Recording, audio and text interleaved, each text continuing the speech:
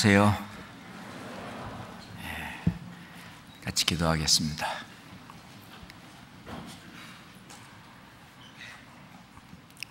거룩하시고 자비로우시며 천지의 주제이신 하나님 아버지 감사합니다.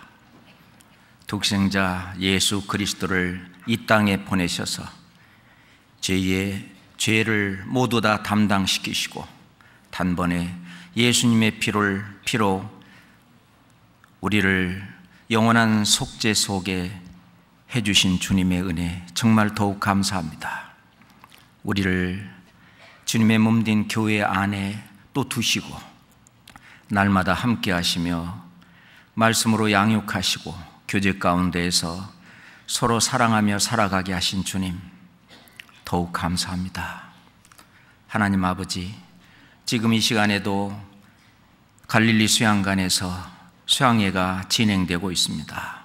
수양회 때마다 많은 영혼들 전국에서 불러 모아주시고 그리고 그들에게 살아계신 하나님의 말씀을 증거하며 구원의 복음을 전하도록 허락하신 주님, 그 일을 위해서 수고하는 모든 형제 자매들 자원하는 심령으로 즐거운 마음으로 주님의 선한 일에 동참케 하시고 말씀을 듣는 모든 사람들 그 마음 문을 열어주사 하나님의 말씀을 마음으로 받아 예수 그리스도를 구주로 영접하고 구원을 받을 수 있도록 도와주시옵소서.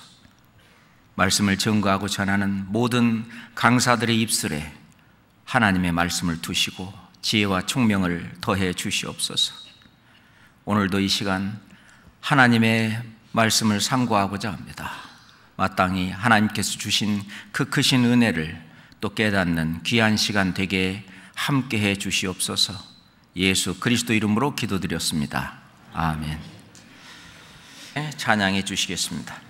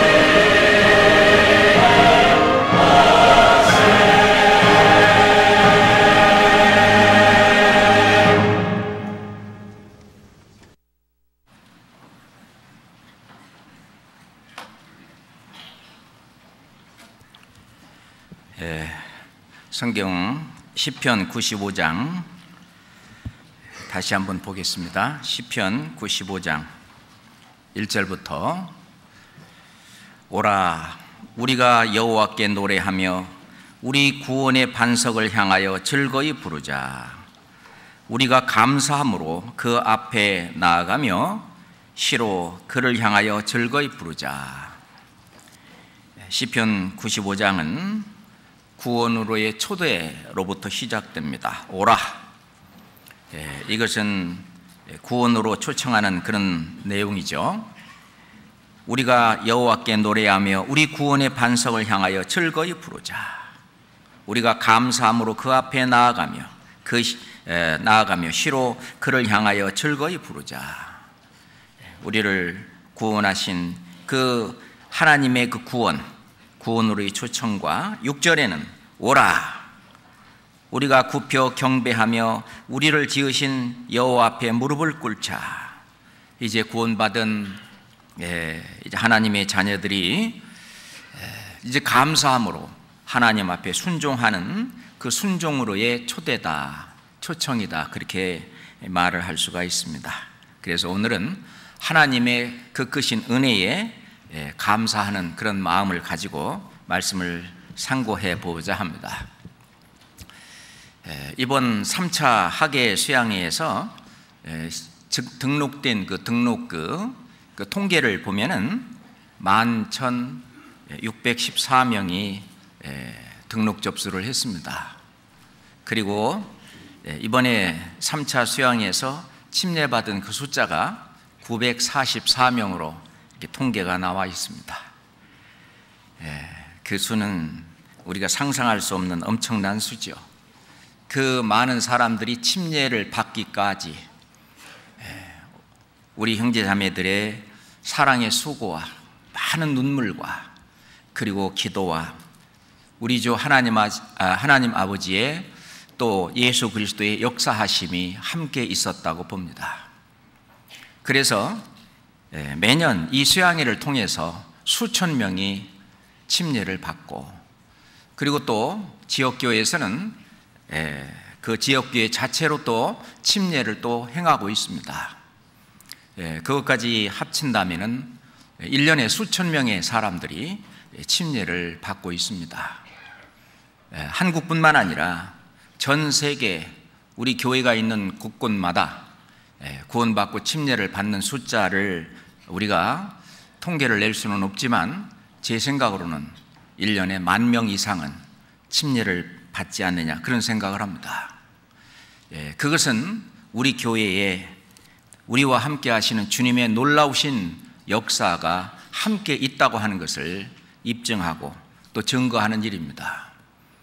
이제 새 생명을 받고 이제 새로운 피조물이 돼서 하나님의 자녀로 거듭난 새로운 생명들이 이제 이전 세상을 향해서 살던 그 모든 것들을 이제 벗어버리고 이제 자기 인생에 대한 어떤 계획이 구원받기 전에는 자기의 인생에 대한 계획이 70년, 80년, 길으면 100년 동안의 인생을 설계하는 인생관을 가지고 있다면 이제는 훨씬 더 넓혀서 이 세상 뿐만 아니라 이제 영원한 세상에까지 이어지는 그 인생을 설계하고 그 삶의 가치를 주는 사람으로 바뀌었습니다. 뿐만 아니라 천지를 지으신 그 하나님이 함께 하시는 하나님의 성전, 하나님의 집, 하나님이 함께 거하시는 주님의 몸된 교회 안에 있다고 하는 그 사실은 놀라운 하나님의 은혜고 또 그 안에서 그 안에서 하나님의 자녀로 태어나는 그 일이 있을 뿐만 아니라 그 안에서 보호를 받고 또 그 안에서 늘 인도함을 받으면서 주님이 우리를 데리러 오시는 그날까지 이 삶을 살도록 하신 그 크신 은혜, 그 은혜를 우리는 정말 감사하지 않을 수 없습니다. 지금 이 시편 95장에 나오는 그 말씀도 예, 우리가 감사함으로 그 앞에 나아가며 우리가 이 감사라고 하는 것은 예, 너무나 중요한 일입니다. 우리가 하나님은 조물 주시고 창조 주시고 그렇기 때문에 하나님은 피조물에게 모든 것을 공급해 주는 그런 공급자입니다. 생명의 근원이 바로 하나님에게 있고 또 모든 생명을 보존하시고 또 인도하시고 또 새로운 생명이 탄생되고 하는 그 모든 일들이 하나님께로부터 나오기 때문에 생명이 원천이 죽게 있사오매라고 말씀하십니다. 예, 우리에게 생명을 주실 뿐만 아니라 생명을 유지하고 또 생명을 더 풍성하게 하고 그리고 그 생명을 사람에게는 더욱이 영원하게 영원한 생명, 영원히 그 생명이 이어질 수 있도록 하시는 하나님은 공급자고 예, 그리고 피조물은 피조물인 우리는 그 공급을 받는 수혜자의 입장, 입장에 있습니다. 하나님은 사람이 살 수 있도록 우주와 그 가운데 있는 만물을 지으신 분입니다. 우주와 그 가운데 있는 만유를 지으신 신께서는 천지의 주제이시니 사람의 손으로 지은 전에 계시지 아니하시고 또 무엇이 부족한 것처럼 사람의 손으로 섬김을 받으시는 것이 아니니 이는 만민에게 생명과 호흡과 만물을 친히 주시는 자이십니다. 하나님이 주시는 그 크신 은혜. 어린아이가 태어났으면 부모가 모든 것을 주시는 부모는 공급자입니다. 뿐만 아니라 그 아이를 보호하는 보호자입니다.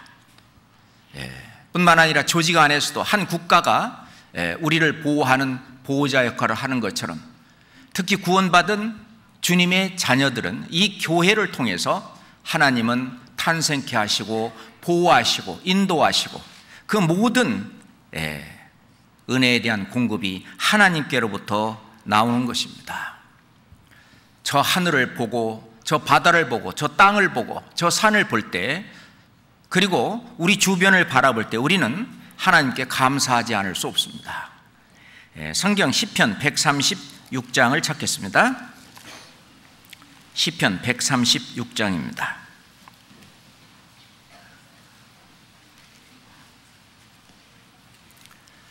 5절부터 9절까지 같이 읽겠습니다.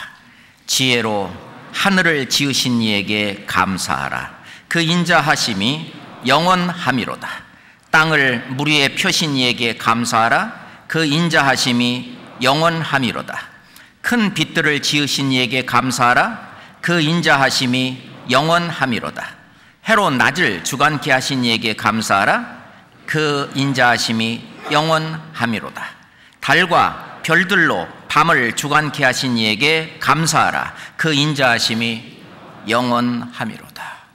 우리가 자연이라고 여기고 있는 이 모든 이 삼라만상 모든 것은 하나님이 지으셨을 뿐만 아니라 보존하시고 운행케 하시는 그 하나님에게 우리는 감사하지 않을 수 없습니다. 뿐만 아니라 개인적으로 내 자신을 보더라도 시편 139장에 예, 다윗은 주께서 내 장부를 지으시며 나의 모태에서 나를 조직하셨나이다. 내가 주께 감사하오면 내가 주께 감사하오면 나를 지으심이 신묘막측하심이니라. 주의 행사가 기함을 내 영혼이 잘 아나이다. 말씀하셨습니다. 내가 주께 감사하오면 나를 지으심이 신묘막측하심이라. 예. 어떤 분들은 이 한 사람의 이 신체가 하나의 소우주라고 말합니다. 그 엄청난 예, 나를 지으신 하나님 그 안에 마음을 넣어주시고 저는 일반의 마음을 지으시며 마음을 넣어주시고 뿐만 아니라 심령을 우리 안에 넣어주셨어요. 사람 안에 심령을 지으신 이가 가랐을 때 예, 뿐만 아니라 이 심령 영혼이라 그러죠. 우리에게 이 영혼을 지으신 여호와께서 가라사대 우리의 몸과 마음과 그리고 영혼까지 지어서 네. 그래서 어떤 주님께서 이 삶을 살아갈 수 있도록 지혜를 주시고 명철을 주시고 하는 하나님 그 하나님에게 우리는 감사하지 않을 수 없습니다. 네. 우리가 세상을 행복하게 사는 삶의 비결은 감사하며 사는 것입니다. 그래서 행복 지수라고 각 나라의 행복 지수를 예, 가끔 이렇게 조사를 합니다. 어느 예, 곳이 행복 지수가 많으냐? 만족하며 사는 나라. 그런 나라가 행복 지수가 높아요. 예, 그래서 우리가 생각할 때는 아주 가난한 그런 아직 아, 그런 나라들이 행복 지수가 훨씬 더 높은 거예요. 예, 정말 어, 굶어 죽어가는 사람도 많이 있는 그런 나라의 행복 지수가 훨씬 높은 것은 감사하며 만족하며 사는 삶이죠. 예, 우리가 예, 감옥에 있는 사람과 수도원에 있는 두 사람을 비교해 볼 때, 예, 정말 감사하며 그리고 만족하며 그 안에서 살고 있으면 예, 행복입니다. 그렇지만 어디 있든지 간에 원망하며 불평하며 늘 짜증내며 사는 그런 삶이 된다면 그 불행이겠죠. 그렇잖아요? 예. 그래서 어느 환경, 어느 곳에 있다 할지라도 정말 내 마음 속에 감사함이 가득 차 있다면 예. 그 삶은 기쁨이고 그 삶은 즐거움이고 행복일 것입니다. 그것은 가정 생활도 마찬가지일 것이고 직장 생활에서도 마찬가지일 것입니다. 예. 그 속에서 늘 감사하면서 그 은혜에 감사하면서 예. 남편이 해 주는 그런 일에 감사하면서 아내가 베푸는 그 은혜에 감사하면서 또 자식들은 부모님에게 감사하면서 또 부모님들은 자식들이 예? 열심히 잘 어? 자라주고 그 말씀에 순종하고 잘 사는 그것을 감사하면서 늘 감사함 가운데 사는 그 가정은 행복할 것입니다. 그런데 늘 원망과 불평과 불만이 가득 찬 그래서 늘 정죄하고 늘 상대방에게 어떤 책임과 모든 것을 이렇게 돌리는 그런 집이 있다면 그 가정은 그 자체가 불행한 가정이 될 것입니다. 예. 그렇잖아요? 직장에서도 그건 마찬가지입니다. 정말 감사하면서 상사에게 또는 회사에 감사하면서 일을 할 때는 정말 그 일도 즐겁고 행복한 삶이 될 것입니다. 우리 그리스도인들이 예, 그리스도인이 사는 속에서 감사가 가장 넘치는 곳이 있다면 바로 수양회장이라고 생각합니다. 그렇게 생각 안 하세요? 늘 그 감사함 가운데에서 어디에서 그 에, 뜨거운 그솥 옆에서 일하는 그 자매 형제 그 얼굴에도 그 웃음과 기쁨과 즐거움이 가득 찬 그 감사함으로 그 은혜 보답하는 일을 조금이라도 하고자 예, 자원하는 마음으로 즐거운 심령으로 하는 그곳은 바로 수양회장은 감사함이 넘쳐나는 곳이라고 생각합니다. 하나님의 은혜에 대한 감사. 그러기 때문에 그곳에서는 그 성령이 아주 충만하고 그러기 때문에 새로 온 그 사람들이 도대체 이곳은 예, 이렇게 많은 사람들이 어떻게 보면 불편할 수도 있는 이곳을 어느 한 사람 그렇게 불평하거나 불만스럽지 않고 그 모든 것을 감사함으로 받으면서 사는 이곳이 도대체 여기가 천국이 아니고 무엇이겠느냐. 그래서 새로운 그 분들의 마음이 녹아지고 그 마음을 열게 되고 하나님 말씀을 듣는 그런 일이 될 것입니다. 지금까지 그래왔고 많은 사람들이 처음에는 에, 억지로 온 그 사람이라 할지라도 그곳에 그 감사함이 넘쳐나는 그 에, 분위기와 그 모든 것을 보고 나서 이 마음을 열고 예, 말씀을 듣고 그리고 하나님을 알게 되고 또 하나님의 사랑까지 예, 받아들여 이제 구원을 받는 놀라운 역사가 성령의 역사로 나타나는 것입니다. 우리가 이 세상에서 정말 죄라고 하는 것은 뭐냐? 원래 인간의 근본적인 죄, 인간 최초의 그 죄는 감사하지 않은 곳에서 시작이 됐습니다. 에덴 동산에서 하나님 말씀하실 때 동산 각종 나무의 실과는 네가 임의로 먹되 에덴 동산이 얼마나 커요?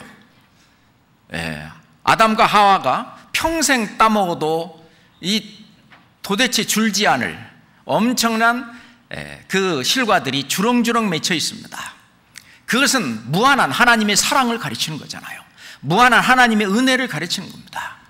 그 무한한 사랑과 은혜에 감사하는 표로서 감사하고 있다고 하는 표로서 단 하나 동산 중앙에 있는 선악을 알게 하는 나무의 실과 그거 하나 먹지 마라.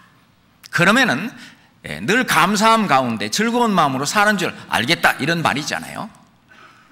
그런데 이 어느 순간에 그 마귀의 어떤 꾀임에 빠져서 어떤 자기가 올라오고 교만이 올라오고 예, 그래서 결국은 하나님에 대한 감사가 아니라 이건 저절로 생긴 거다. 이건 뭐 뭐 늘 자연이 있는 거 아니냐.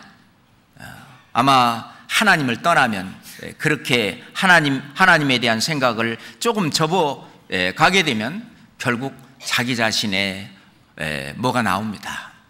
결국은 하나님 은혜에 감사하지 않는 그것으로부터 이제 죄가 출발되고 시작이 되는 것이죠.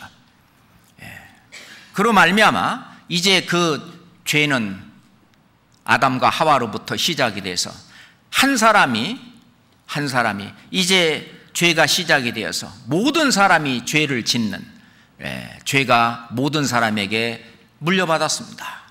그것을 원죄라고 말을 합니다. 그 원죄 그것은 예, 내가 죄악 중에 출생하였으며 모친이 죄 중에 나를 잉태하였나이다. 원래 이 죄를 가지고 태어난다는 것입니다. 그래서 어린 아이들한테 너 조금 지나면 거짓말 해라. 너 조금 지나면 예, 엄마 아빠 말 예, 듣지 마라. 뭐 또뭐 싸워라. 이렇게 안 가르치는데도 불구하고 예, 조금 지나면 그 죄가 죄성으로 나오는 그걸 원죄라고 그러죠. 그 죄성을 가지고 있습니다. 그 죄성을 가지고 있는 내가 좀 수양을 좀 하고 그러면 죄가 덜 나타나고 그렇지 않고 그냥 방치하고 그냥 원래 죄성 있는 대로 다 폭발하면서 사는 사람은 죄를 많이 짓지요. 어찌든 간에 죄인으로 태어나서 죄를 짓다가 예, 결국 그대로는 하나님의 나라, 저 천국에 갈수 없기 때문에 죄는 미워하지만 죄인을 사랑하시는 그 하나님께서 죄인을 구원하시기 위해서 독생자 예수 그리스도를 이 땅에 보내시고 온 인류의 모든 죄를 그에게 담당시키시고 예수님 자신도 친히 나무에 달려 그 몸으로 우리 죄를 담당하셨으니 이는 우리로 죄에 대하여 죽고 의에 대하여 살게 하려 하심이라. 이제 죄인의 신분을 벗어나서 의인의 신분으로 살게 하기 위해서 하나님께서 예수님에게 죄를 담당시키시고 예수님 자신도 친히 우리의 모든 죄를 호리만한 죄까지 모두 다 담당하시고 그 죄값을 대신 피 흘려 죽으심으로 모두 다 그 죄값을 치러 주신 주님, 우리의 죄, 죄에서 우리를 해방시킨 그 주님, 예. 그 은혜를 감사하는 그 마음, 예. 그 마음으로 살아가는 것을 우리는 신앙생활이다. 그렇게 말을 할 수가 있습니다. 그렇지만 하나님을 알지 못할 때에는 이 감사함이 없는 거죠. 예. 하나님과 멀리 떨어지면 떨어질수록 이 감사함은 점점 더 멀어지는 것입니다. 성경 로마서 1장 보겠습니다.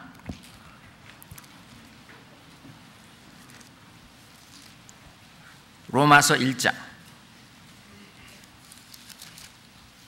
20절부터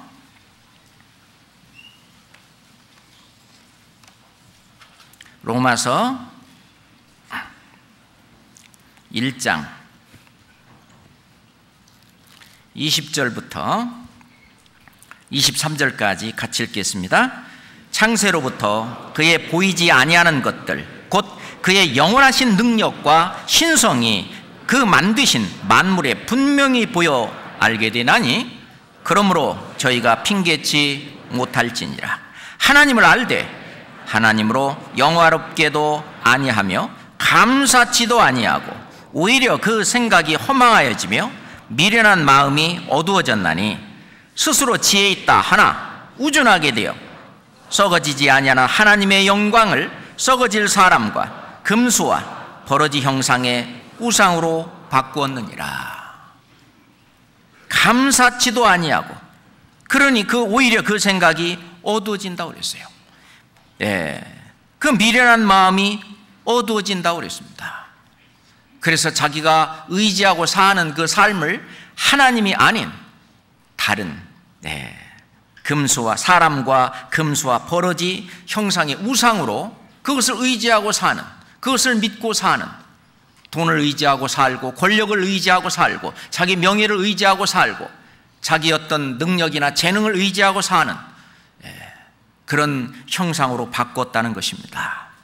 예, 그래서 실제로 감사하는 마음이 없어지면 실제로 예, 나 여기 있다라고 하는 그 교만한 마음과 늘 나는 잘했는데 상대방이 그래서 그렇다라고 하는 정죄하는 마음, 다른 사람을 멸시하고 예, 업신여기고 그리고 예, 정죄하고 예, 요즘 뭐 갑질이라고 하는 것이 문제가 되고 있는데 이제 갑질하게 되고 뭐 이런 것이 들어오죠.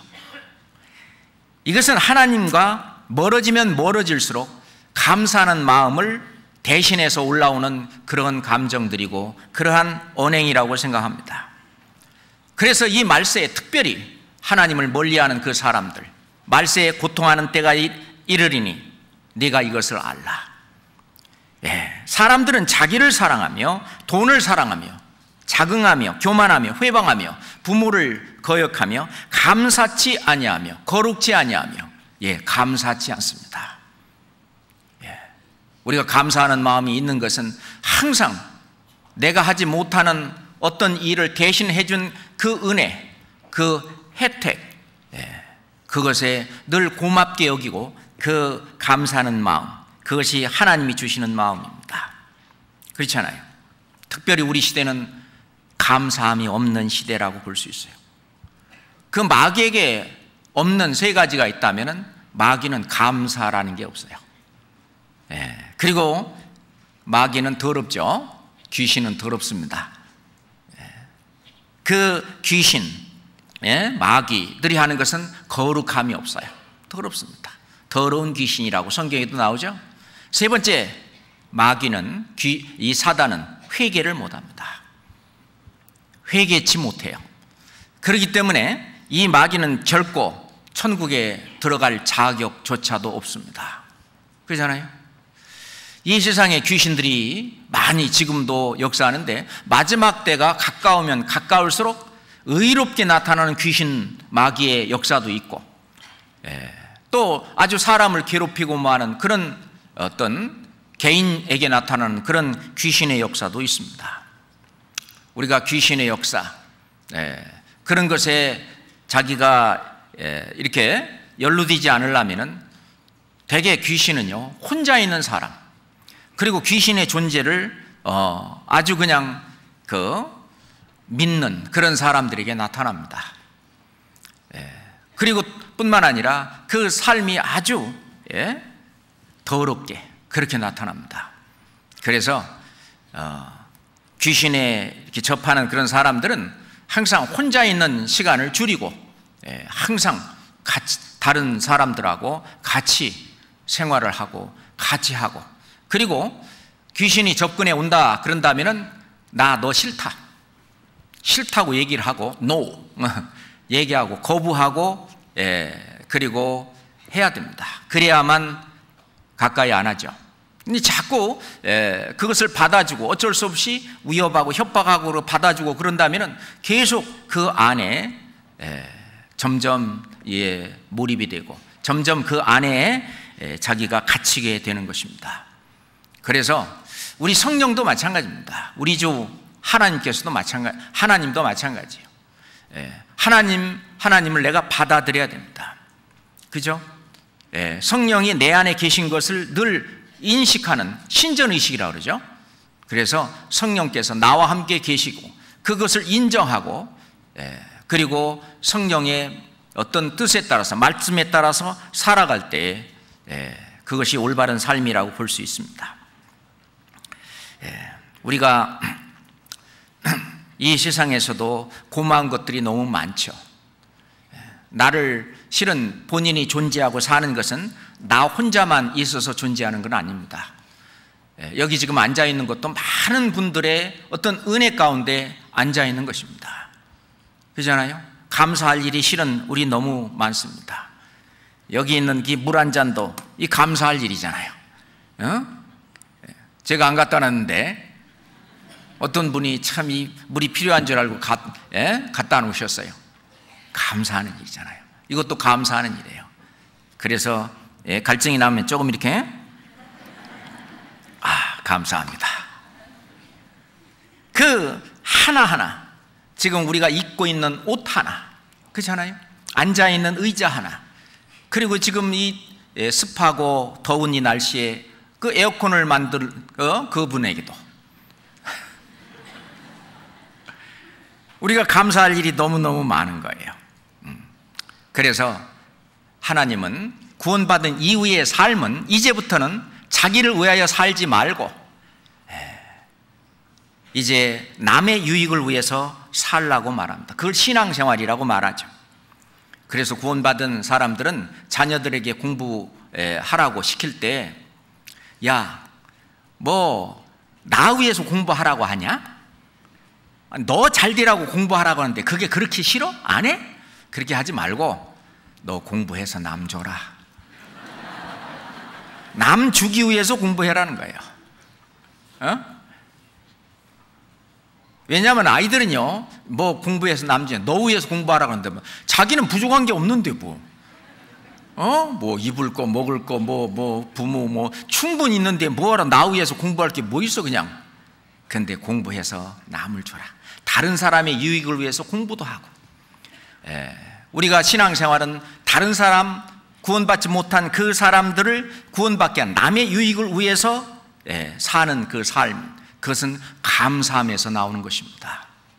그 모든 수고가 결코 헛되지 않는다고 그를 위해서 수고한 그 모든 수고를 하나님이 하나님이 결코 예, 공의 하나님께서 결코 그냥 두지 않고 그걸 다 나중에 상급으로 칭찬으로 영광으로 다 갚아 주신다고 말씀하십니다.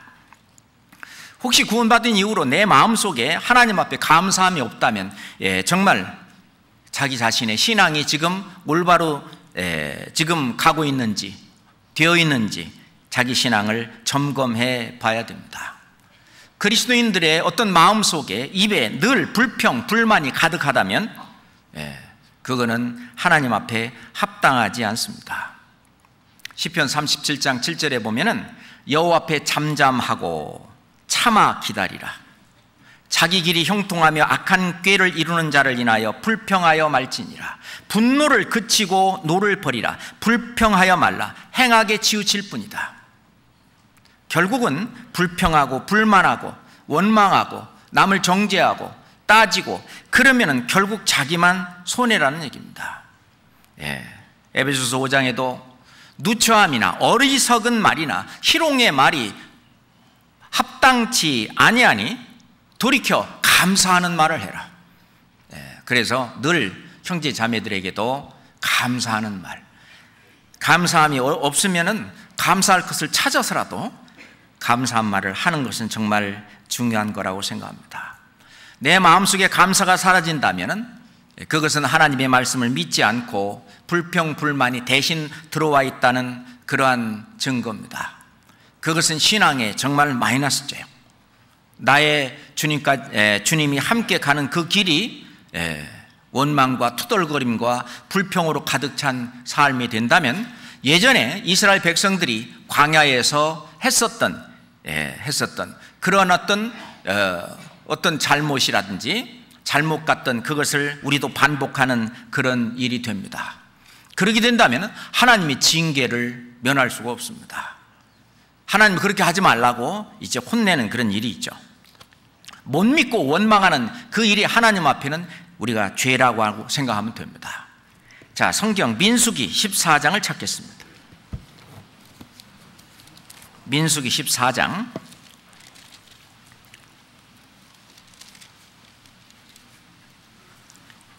민수기 14장 26절부터 30절까지 민수기 14장 26절부터 30절입니다.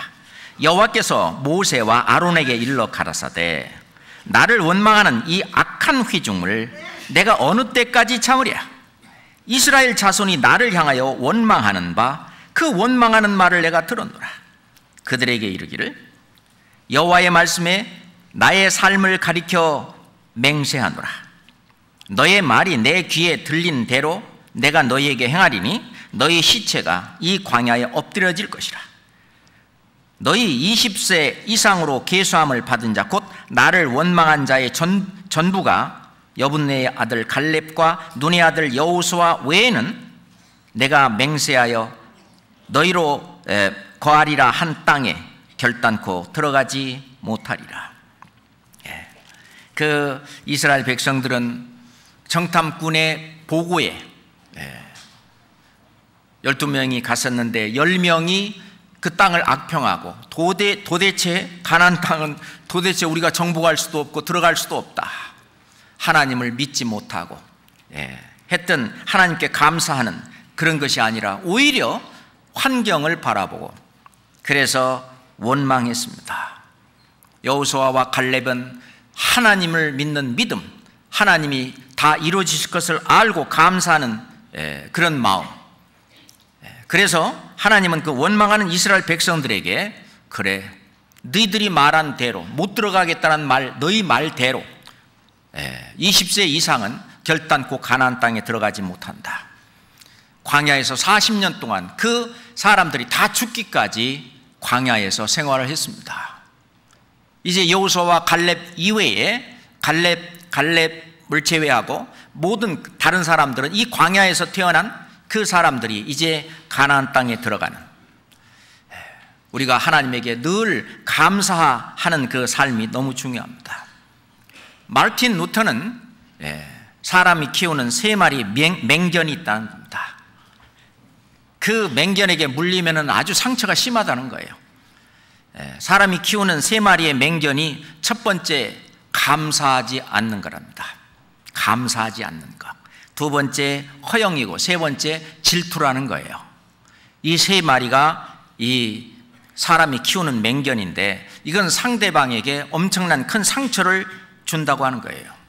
그렇잖아요? 예, 세상에서도요 예고 미스 운동이라고 하죠. 예, 예, 예고 고맙습니다. 미 미안합니다. 수 예? 수고하셨습니다. 하는 예고 미스 운동. 그래가지고 뭐 사회에서도 뭐 국가에서도 운동이라고 해서 하죠. 그것은 전부 다, 다 감사함에서 나오는 것들이죠. 예, 그것은 예, 삶의 어떤 평강과 그리고 행복을 가져다 줍니다.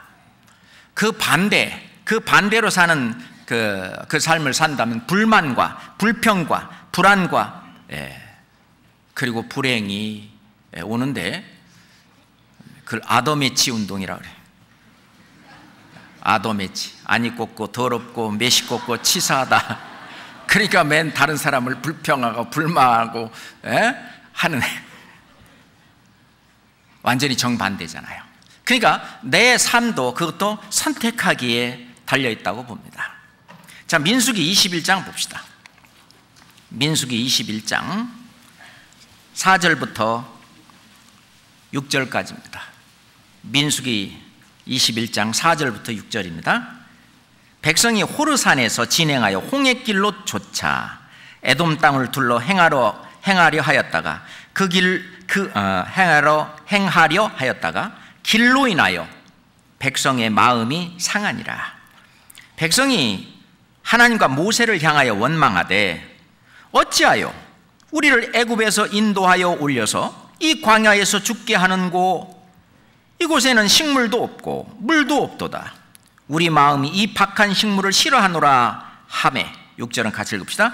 여호와께서 불뱀들을 백성 중에 보내어 백성을 물게 하심으로 이스라엘 백성 중에 죽은 자가 많은지라. 예, 이 광야에서 하나님이 인도해 가시는 그곳에서 그 길이 좀 어, 아주 험하고 아주 걸어가기가 함께 진행해 가기가 힘들었던 모양입니다. 그래서 하나님과 모세를 원망했습니다. 예.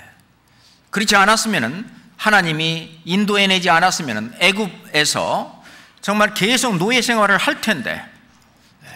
하나님의 인도하심으로 홍해가 갈라지고 그리고 예, 반석에서 생수가 나오고 그리고 만나를 통해서 먹이시고 매출하기를 통해서 고기도 실컷 먹이시고 낮에는 구름 기둥, 밤에는 불 기둥으로 이렇게 보호하시는 하나님에 대해서 예, 감사하지 않는 거예요.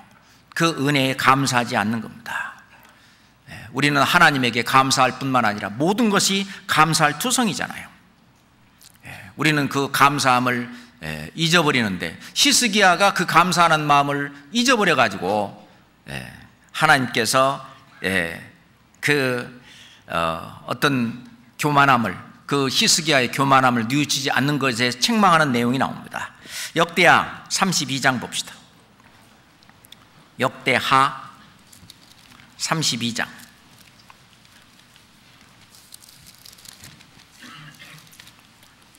역대하 32장입니다. 24절부터 26절입니다. 역대하 32장 24절부터 그때 히스기야가 병들어 죽게 된 고로 여호와께 기도하매 여호와께서 그에게 대답하시고 또 이적으로 보이셨으나 히스기야가 마음이 교만하여 그 받은 은혜를 보답지 아니하므로 진노가 저와 유다와 에루살렘에 임하게 되었더니 26절 히스기야가 마음의 교만함을 뉘우치고 에루살렘 거민들도 그와 같이 하였으므로 여호와의 노가 히스기야의 생전에는 저에게 임하지 아니하니라. 25절 한번 다시 읽겠습니다. 히스기야가 마음이 교만하여 그 받은 은혜를 보답지 아니하므로 진노가 저와 유다와 예루살렘에 임하게 되었더니 우리가 은혜 보답하지 않는 사람을 배은망덕한 사람이다. 그렇게 말합니다. 하나님의 그 크신 은혜로 히스기야가 병들어 죽게 되었는데도 하나님께서 생명을 연장시켜 주고 그 하나님에게 그 은혜에 감사해야 되는데 그 받은 은혜를 보답지 않았다고 했습니다. 예. 자기 힘으로 그렇게 됐다고 생각합니다. 구원받은 이후로 사업이 잘 된다든지 또는 자기가 건강하게 산다든지 예, 또는 마음이 평강이 있고 모든 것이 예, 범사에 잘 되는 그 모든 것이 하나님의 은혜다라고 하는 것을 우리는 잊으면 안 됩니다. 그것을 잊어버리게 되면은 예, 그리고 이제 원망이 오게 되고 불평이 오게 되고 불만이 올 수도 있죠. 뿐만 아니라 그 은혜 보답하는 삶 하나님 앞에 이건 중요한 것입니다. 자 누가복음 17장입니다. 성경 누가복음 17장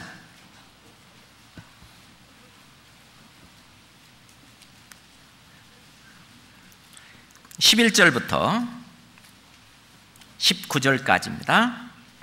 누가복음 17장 11절부터 예수께서 예루살렘으로 가실 때에 사마리아와 갈릴리 사이로 지나가시다가 한 촌에 들어가시니 문둥병자 10명이 예수를 만나 멀리 서서 소리 높여 가로되 예수 선생님이여 우리를 국률이 여기소서. 하거늘 보시고 가랐을 때 가서 제사장들에게 너희 몸을 보이라. 하셨더니 저희가 가다가 깨끗함을 받은지라. 그 중에 하나가 자기의 나은 것을 보고 큰 소리로 하나님께 영광을 돌리며 돌아와 예수의 발 아래 엎드려 살해하니 저는 사마리아입니다 17절부터 19절은 같이 읽겠습니다. 예수께서 대답하여 때열 사람이 다 깨끗함을 받지 아니하였느냐? 그 아홉은 어디 있느냐? 이 이방인 외에는 하나님께 영광을 돌리러 온 자가 없느냐 하시고 그에게 이르시되 일어나 가라 네 믿음이 너를 구원하였느니라 하시니라 예, 예수께서 예루살렘으로 가시는데 사마리아와 갈릴리 사이로 지나가시는데 한촌에 들렀는데 거기 문둥병자 10명이 거기에 있었습니다. 예, 이스라엘 사람, 이스라엘은 그 문둥 환자, 문둥병 환자, 지금 이제 뭐 나병이라고도 하고 한센병이라고도 하는 그 병에 걸린 사람들은 이스라엘의 그 진에 들어오지 못하고 어, 이제 따로 나와서 이 무리를 이루고 삽니다. 아마 예, 거기가 문둥병 환자들이 무리를 이루고 사는 곳인 것 같습니다. 그런데 거기에서 문둥병자 10명이 예, 어떤 예수님에 대한 소문을 들었는지 병 낫기를 원합니다. 예? 자기 문둥병이 낫기를 원하는 거예요. 우리를 국률이 여기소서 우리를 좀 고쳐주셔. 그래서 예수님이 극률이 여기시고 어? 극률이 여기시고 가서 제사장들에게 너의 몸을 보이라. 원래 문둥병이 나으면 제사장에 가서 몸을 보이고 예, 그리고 이제 예, 그 제사를 드리고 그리고 진, 진 안에 들어오거든요. 그러니까 가서 제사장에게 내, 너의 몸을 보이라라는 말은 하나 예수님께서 고쳐주신 것을 의미합니다. 그걸 몰랐다가 가다가 깨달은 거예요. 오, 보니까 깨끗해진 거예요. 예, 문둥병이 다 나은 겁니다. 그러는데 그 나은 것을 보고 열 명이 다 와서 아이고 감사합니다. 고맙습니다. 이 문둥병을 깨끗게 한 것을 보니까 예, 그 예수님은 그냥 선생님이 아니라 하나님이 보내신 여기 나오는 이 윤둥병자들은 전부 유대인들입니다. 바로 하나님이 보내신 바로 예수 그리스도 그리스도 그리스도가 아닙니까? 예, 이제 우리를 예, 죄에서 구원해 주십시오 라고 하는 그 마음으로 전부 나와 나와야 되는데 한 명만 그랬습니다. 그래서 그 믿음을 보시고 예, 예수님께서 네 믿음이 너를 구원하였느니라 하시더라. 그런 사건, 그건 실제로 있었던 사건이에요. 이거는 팩트죠. 이건 뭘 말하냐면은 이 세상 사람들이 겨우 육신의 문제만 그 어떤 어 육신의 문제만 추구하는 사람들이 많다는 얘기입니다. 예. 어떻게 못 사는 나라에 가면은요 어떤 병 낫는 이적 기적들을 많이 행합니다. 그 병 나으면 이제 그걸로 끝나는 거예요. 자기 영혼의 문제, 천국 가는 문제 이런 건 별로 관심이 없어요. 그래서 예, 이것은 우리가 볼 때 두 가지로 생각할 수가 있습니다. 어떤 그 사실, 그 사건을 놓고 볼 때에 예, 사건을 놓고 볼 때에 이 예, 여덟 아홉 명은 아홉 명은 온전히 어떤 삶을 자기 이 세상에서의 어떤 것을 해결하는 그것을 위해서 사는 삶입니다. 어떤 종교를 믿든 또는 기독교를 믿든 이 세상에서 삶만을 위해서 추구하고 사는 그런 삶이죠. 그러니까 육신의 병만 그냥 깨끗함을 받았습니다. 병만 나았어요. 그걸로 끝났습니다. 그렇지만 그 한 명은 완전히 그 영혼의 문제. 예. 그래서 내 믿음이 너를 구원하였느니라. 영혼의 구원까지 받은 거잖아요. 어? 그런 예, 것을 볼 수가 있고 또 이 말씀을 통해서 어, 말씀을 통해서 교훈으로 영적으로 우리가 생각을 한다면 또 놀라운 의미가 있습니다. 예, 문둥병이 예, 영적으로 문둥병이 깨끗해졌다고 하는 것은 문둥병은 죄인을 가리키는 겁니다. 죄를 가리키는 거잖아요. 그러니까 문둥병자가 이제 깨끗함을 받았다고 하는 말은 죄인의 죄가 완전히 씻음을 받아서 구원을 받았다는 얘기입니다. 예, 하나님의 자녀로 거듭났습니다. 예, 다 구원, 이게 10명, 10명 구원받은 사람 중에서 정말 하나님께 영광을 돌리고 그리고 그 은혜에 보답하는 그 사람이 아주 적다는 뜻입니다. 그 한 명만이 돌아와서 예, 다 구원해줘서 구원해 줬는데 구원받은 그걸로 끝났고 그리고 한 명은 돌아와서 예, 영광을 돌리며 엎드려 살해하고 살해하고 이제 나머지 생애를 주님을 주로 모시고 이제 주님의 말씀에 순종해서 사는 그 삶 감사함으로 사는 삶. 예. 그것은 후에 주님을 다시 만날 때 큰 상급과 칭찬과 영광이 주어지는 것입니다. 그래서 이 사건을 우리는 그냥 어떤 사건으로만 사실로만 볼 때는 예, 그렇게 두 가지로 예, 첫 번째 어, 말씀드린 대로 어, 그냥 병만 낫고 많은 사람 육신의 문제만 해결하고 마는 사람, 그리고 구원까지 받는 사람, 이렇게 볼 수 있고 또 하나는 모두 다 10명이 다 구원받았다고 볼 때도 정말 하나님께 돌아와서, 주님께 돌아와서 살해하고 그리고 엎드려 경배하면서 이제 주님께 감사하며 사는 예, 올바른 신앙생활을 하는 사람. 예, 그 사람은 주님 앞에 가서 큰 상급과 영광을 받는다는 그런 교훈을 받을 수가 있습니다. 그죠? 자, 그래서 우리가 구원받은 이후에 그냥 구원해 주신 예? 그걸로 그냥 가, 그걸로 끝나느냐? 그렇지 않으면 감사함으로 살해하며 사는 그 삶을 살 것이냐? 예, 이건 중요합니다.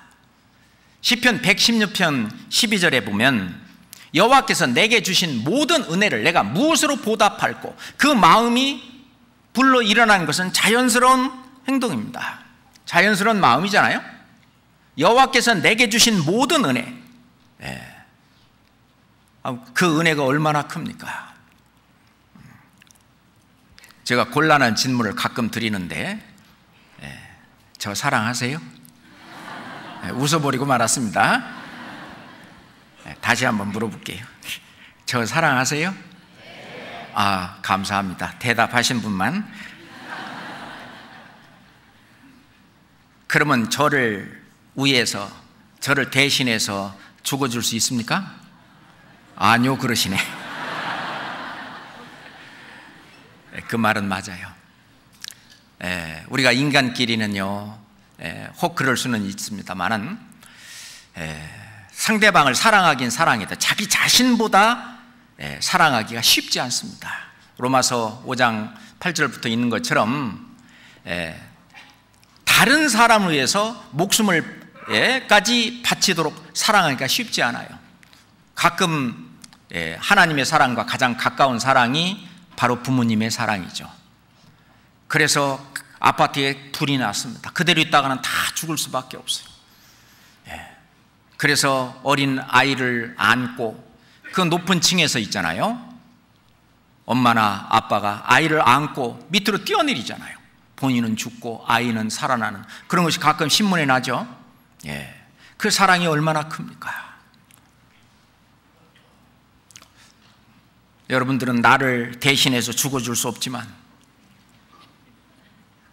천지를 지으신 하나님, 그분은 나를 사랑할 뿐만 아니라 자기 자신보다도 나를 더 사랑하신 거예요. 예. 그러니 죽어주실 수가 있던 겁니다. 그러니 나는 존귀한 자예요. 얼마만큼 존귀하냐. 천지를 지으신 그 창조주, 하나님만큼 존귀한 겁니다. 그런데 그 존귀의 저 하나 깨닫지 못하는 자는 멸망하는 짐승 같도다. 그렇게 존귀한 나를 그래서 이사야 45장 49장 5절에도 나는 여호와 보시기에 존귀한 자라. 예. 그 존귀한 겁니다. 그 존귀한 나를 위해서 나를 살리기 위해서 십자가에 피 흘려 죽기까지 하신 그 크신 은혜. 예. 여호와께서 내게 주신 모든 은혜를 내가 무엇으로 보답할꼬? 예. 정말 누군가가 나를 대신해서 그렇게 죽었다면 그 죽은 그 사람의 예? 그 사람을 위해서 자기가 할 수 있는 모든 걸 다 하려고 하지 않겠어요? 예. 그리스도의 사랑이 우리를 강권하시는도다. 한 사람이 모든 사람을 대신하여 죽었은즉 모든 사람이 죽은 것이다. 예. 이제부터 내가 사는 것은 나를 위하여 사는 것이 아니라 나를 위하여 살았다가 나를 위하여 죽었다가 다시 사신 자를 위하여 살게 하려 하십니다. 이제 그분의 은혜에 보답하는 삶. 예. 하나님의 크 크신 은혜, 예. 그 크신 하나님의 사랑, 예. 바다를 먹물 삼아 저 하늘을 두루마리 삼아 하나님의 사랑을 기록해도 다 기록할 수 없겠네. 그 하나님의 은혜, 그 사랑, 예. 그것을 감사함으로 표현하며 사는 것을 우리는 신앙생활이라고 하는데 그것은 이, 이 세상에서 가장 값지고 멋지고 성공적인 삶이라고 말할 수 있습니다. 그렇잖아요? 예. 하나님의 은혜에 감사하는 그 첫 번째는 나를 구원하신 구원의 하나님에 감사합니다. 그거는요, 평생 이 감사를 뭐 하루에 몇 번씩 감사해도 지나침이 없습니다. 우리는 기도할 때마다 하나님이 나를 감사, 예, 구원해 주신 그 은혜에 감사합니다. 예. 성경 로마서 6장 봅시다. 로마서 6장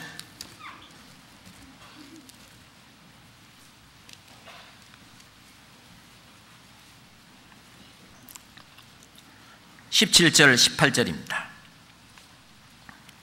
로마서 6장 17절 18절입니다. 함께 읽읍시다. 하나님께 감사하리로다. 너희가 본래 죄의 종이더니 너희에게 전하여 준 바 교훈의 본을 마음으로 순종하여 죄에게서 해방되어 의에게 종이 되었느니라. 죄에게서 해방되어 이제 죄인의 신분에서 의에게 종이 되었느니라. 이제 의인의 신분으로 바꿔주신 그 크신 하나님의 은혜, 하나님께 감사하리로다. 시편 기자도 시편 118편에 주께서 내게 응답하시고 나의 구원이 되셨으니 내가 주께 감사하리다. 예, 내가 주께 감사하리다. 그렇습니다. 하나님의 그 크신 은혜, 우리는 그것을 잊으면 안 돼요.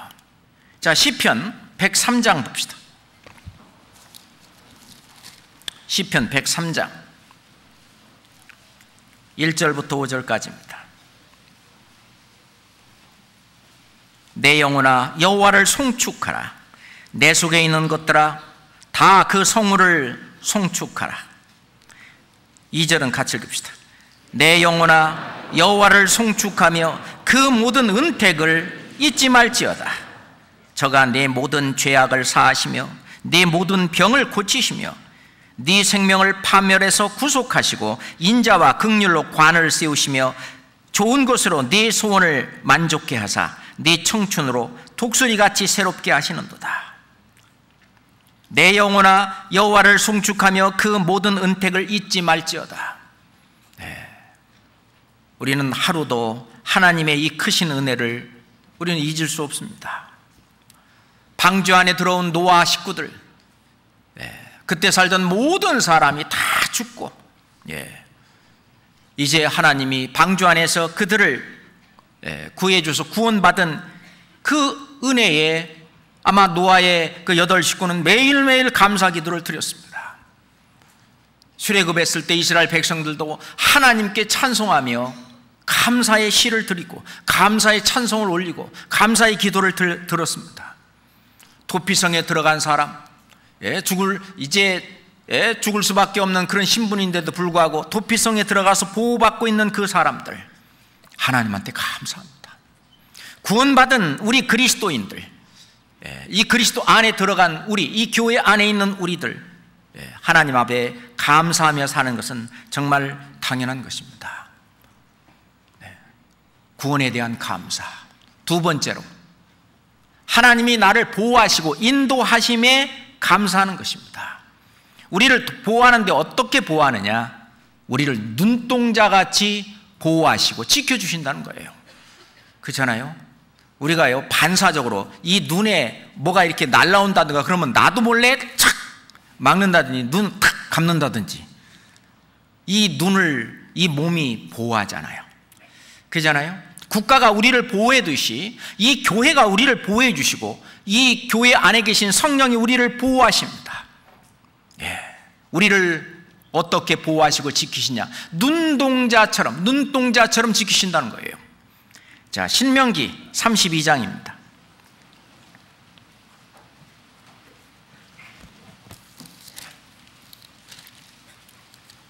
신명기 32장 9절부터 보겠습니다. 신명기 32장. 9절부터. 여호와의 분깃은 자기 백성이라. 야곱은 그 택하신 기업이로다.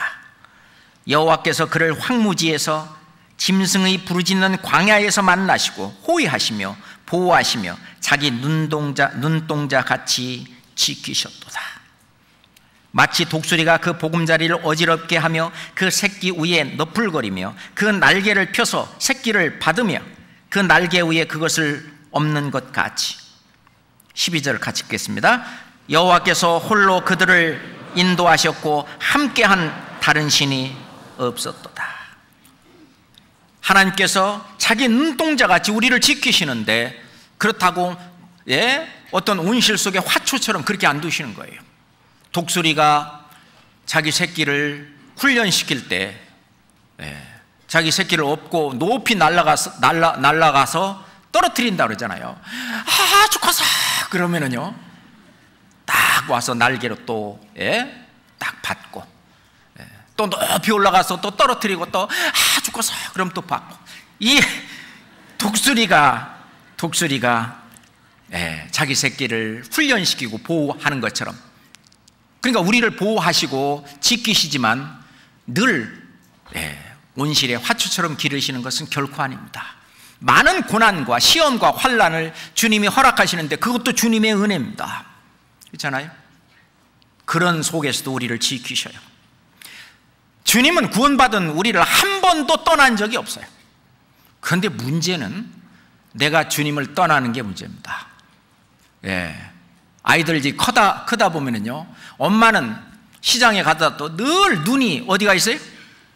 예. 아이에게만 있는데, 아이는요, 뭐, 엄마고 뭐고 것 없이 막, 여기 신기하고 저기 신기하고 막 이리로 뛰어가고 절로 뛰어가고, 이게 어디 갔는지. 그럼 엄마는 애가 달아서 막 쫓아가고, 하나님도 우리에게 그럴 거라고 생각이 돼요. 어? 정말 눈동자처럼 우리를 지키시고 보호하시고 인도하신다는 사실입니다.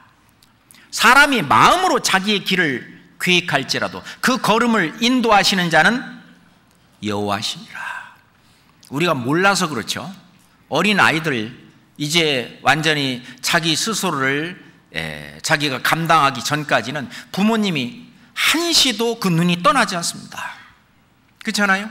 늘, 늘 자기 눈의 범위 안에 늘 그 안에 두고 지키시잖아요. 그렇잖아요? 그래서 예? 이로 가라. 거기 가면 안 돼. 잡아 끌고 그 걸음을 인도하시는 이는 여호와시니라. 예, 그렇습니다.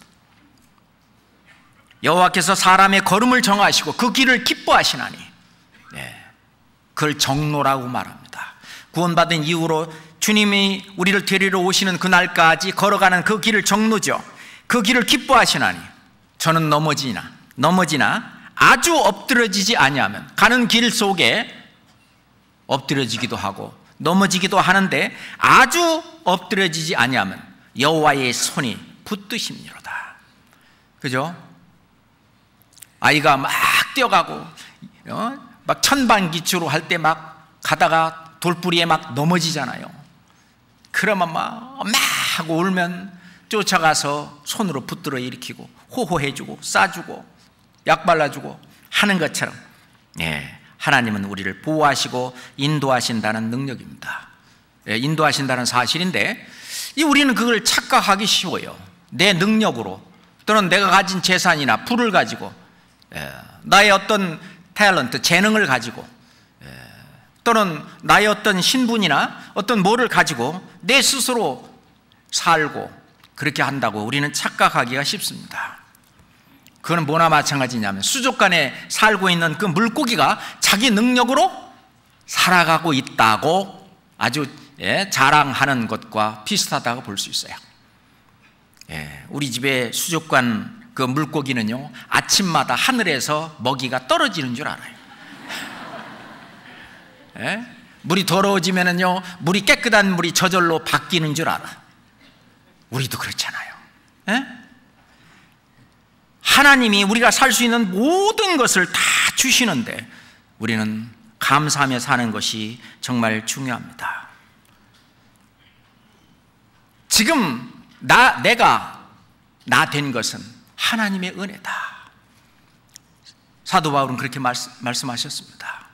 지금 내가 나 된 것은 하나님의 은혜다. 그 은혜에 감사하기 위해서 그 은혜에 어떻게 보답할고 예. 그래서 주님께서 나, 나에게 맡기신 그 일을 하는데 충성을 다하는 거죠. 그렇잖아요. 천성으로 우리를 인도할 때까지 의의 길로 인도할 때까지 예, 주님의 말씀이라면 무엇이든지 순종하고 그 길을 가려고 하는 것입니다. 예, 그래서 예, 우리를 하나님 앞으로 예, 천국으로 인도할 때까지 예, 그렇게 하기 위해서 실은 예수님은 십자가에 돌아가시잖아요. 베드로전서 3장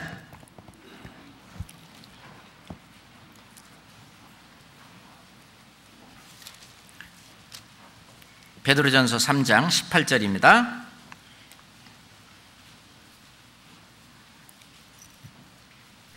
베드로전서 3장 18절입니다. 함께 읽겠습니다. 그리스도께서도 한 번 죄를 위하여 죽으사 의인으로서 불의한 자를 대신하셨으니 이는 우리를 하나님 앞으로 인도하려 하심이라. 육체로는 죽임을 당하시고 영으로는 살리심을 받으셨으니 예. 그리스도께서 한 번 죄를 위하여 죽으시고 그리고 의인으로서 불의한 자를 대신하셨다. 예, 예수님의 죽으심은 내가 죽은 것과 마찬가지예요. 내가 빚을 못 갚을 때 다른 사람이 대신 빚을, 빚을 갚아준다면 내가 갚은 것이나 빚 갚은 건 마찬가지처럼 예, 의인으로서 불의한 자를 대신 하신 그 이유는 우리를 하나님 앞으로 인도하려 하십니다. 예, 그래서 예, 종국에 가서는 끝에 가서는 결국 하나님의 나라 그 천국까지 인도하려고 하시는 것입니다. 우리가 이 세상에 사는 삶은 정말 잠깐입니다. 그렇잖아요? 이 잠깐인 삶 속에 우리의 어떤 계획은 영원한 세상에까지 가서 내가 살 것을 생각하고 계획하고 투자하고 그리고 사는 거잖아요. 네? 이 세상 사람들은 겨우 이 세상에다가 예, 모든 소망을 걸고 그러고 자기의 인생 계획을 이 세상에서 끝냅니다. 근데 우리의 인생 계획은 이 세상에서 끝내는 게 아니잖아요. 예, 이 짧은 이 세상을 살면서 영원한 세상에 주님께서 주실 그 약속을 의지하고 예, 그래서 인내하고 견디고 예, 그 모든 것을 감사함으로 예, 주님께서 내게 주신 그 은혜에 감사함으로 모든 것을 주님은 가능케 하십니다. 예. 여호와여, 내가 알거니와 인생의 길이 자기에게 있지 아니하니 걸음을 지도함이 걷는 자에게 있지 아니하니다. 그렇습니다. 우리가 하루하루 살아가는 모든 예, 그 인생 길에 우리 주님이 함께 걸어가고 있다. 그거를 우리는 늘 생각해야 되고 예, 그 길은 하나님에게 감사함에 보답하는 그런 삶을 사는 것이다. 네, 그게 바로 우리 신앙생활이라고 봅니다. 시편 48장입니다. 시편 48장.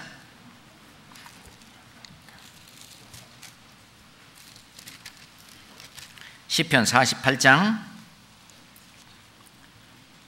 14절입니다. 시편 48장 14절 같이 읽겠습니다. 이 하나님은 영영이 우리 하나님이시니 우리를 죽을 때까지 인도하시리로다. 우리를 뭐 할 때까지요? 죽을 때까지. 우리가 구원받고 난 이후에 죽을 때까지 우리를 인도하시리로다. 우리를 보호하실 뿐만 아니라 자기 눈동자처럼 우리를 보호하실 뿐만 아니라 죽을 때까지 또 인도하시는 하나님입니다. 이것도 믿어야 됩니다. 왜? 사실이니까.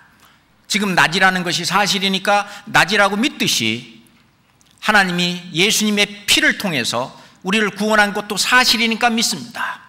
또 구원하신 이후로 나를 보호하시고 인도하는 것이 인도하시는 것이 또한 사실이니까 믿습니다. 그렇지만은 우리가 사는 동안에 우리를 온실 속에 두지 아니하시고 예, 험난한 그런 눈물 골짜기를 통과하게도 하시고 많은 고난과 환란을 통과하게도 하시고 우리를 단련시키기 위해서 하나님의 자녀로 합당한 예, 하나님의 일꾼으로 합당한 자로 키우기 위해서 많은 고난과 환난과 핍박과 이런 걸 허락하시지만은 그래도 주님은 우리를 보호하시고 인도하십니다. 맞잖아요. 예. 우리를 구원하신 하나님께 감사하는 것 당연하게 해야 됩니다. 두 번째, 우리를 보호하시고 인도하시는 하나님께 또 매일 감사해야 됩니다. 그리고 우리에게 교회에서 주님의 몸된 교회에서 봉사하게 해 주신 것에 대해서 감사해야 됩니다. 예. 디모데 전서 1장 12절입니다. 디모데 전서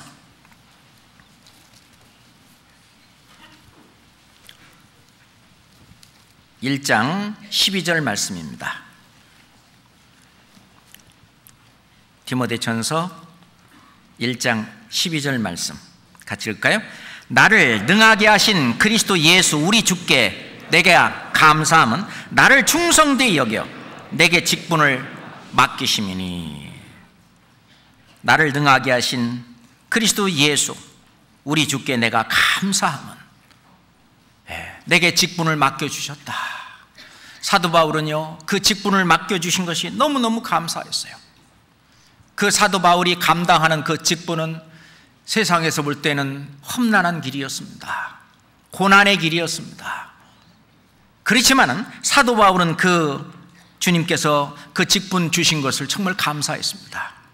우리도 교회 안에서 어떤 직분을 맡아서 예, 어떤 일을 예, 책임으로 맡아서 할 때에 감사함으로 할 것이냐? 그렇지 않으면요 억지로 음, 하느냐? 투덜대며 예, 또는 원망하며 하느냐? 그 결과가 다를 것입니다. 기왕에 할 일 그러죠? 어떻게 하는 게 좋아요? 감사함으로 예, 자원하는 마음으로 즐거운 마음으로 할때 예, 그것이 나에게도 다른 분에게도 유익이 될 것입니다.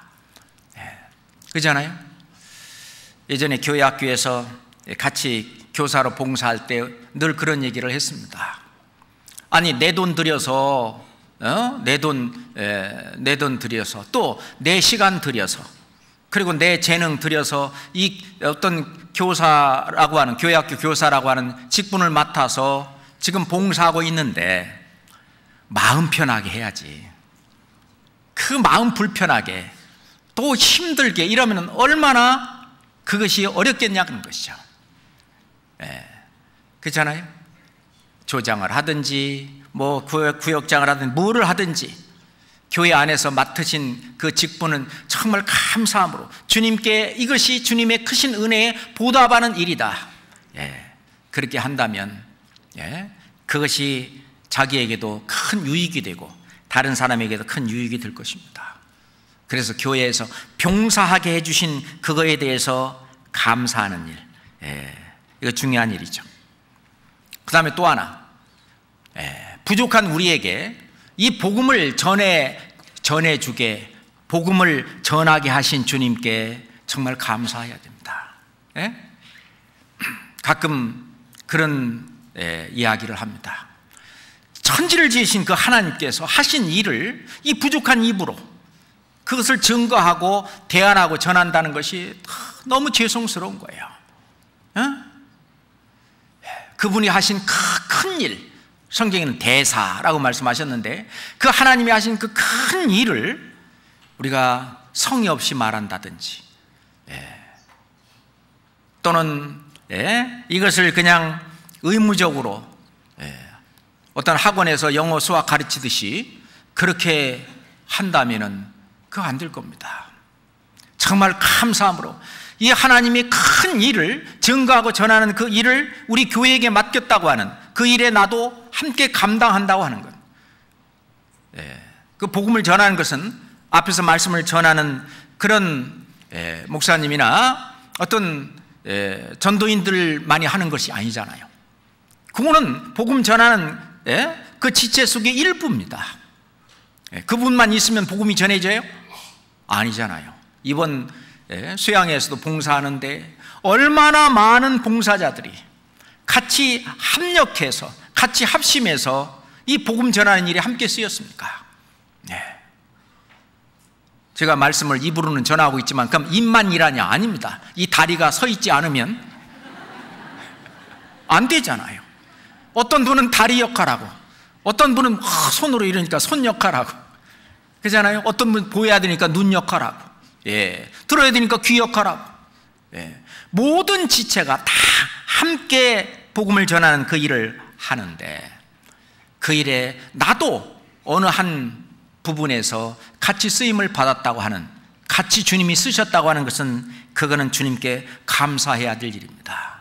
예. 시편 9장 보겠습니다.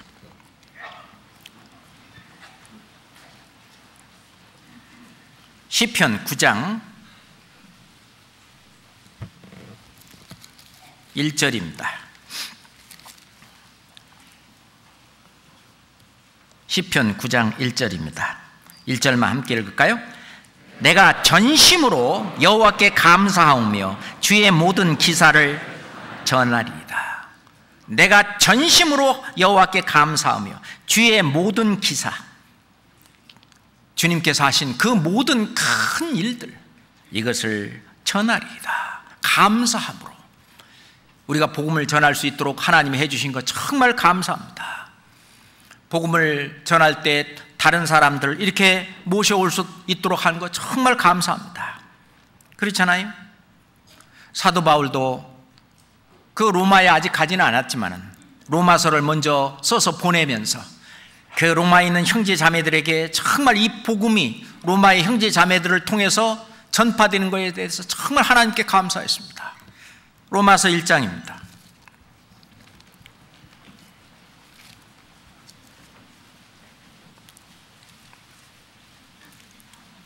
로마서 1장입니다. 로마서 1장 8절입니다. 로마서 1장 8절입니다. 함께 읽겠습니다. 첫째는 내가 예수 그리스도로 말미암아 너희 모든 사람을 인하여 내 하나님께 감사함은 너의 믿음이 온 세상에 전파됨이로다.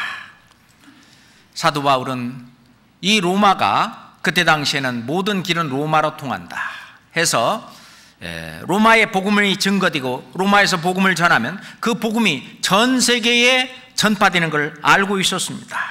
그래서 특별히 이 로마에 본인이 가서 복음 전하기를 몹시나 원했습니다.